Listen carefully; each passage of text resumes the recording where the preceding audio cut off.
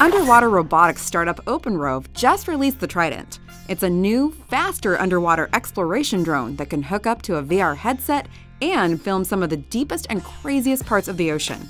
I met up with OpenROV co-founder Eric Stackpole to check it out.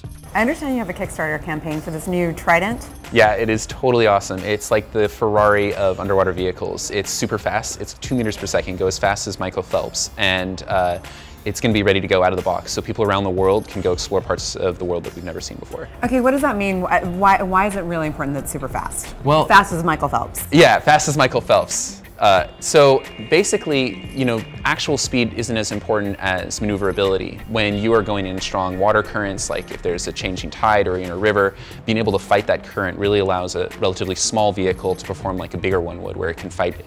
Um, also, it's really good at doing transects. Those are these kind of like long, straight line lawnmower patterns that you can use to survey an area. It makes it much more efficient at doing that. So now we have a vehicle that can really explore um, in a much more efficient and awesome way than anything has before. You, so you've kind of veered from what you were. You were mostly underwater exploration with these uh, these other ROV vehicles. Why the Trident now?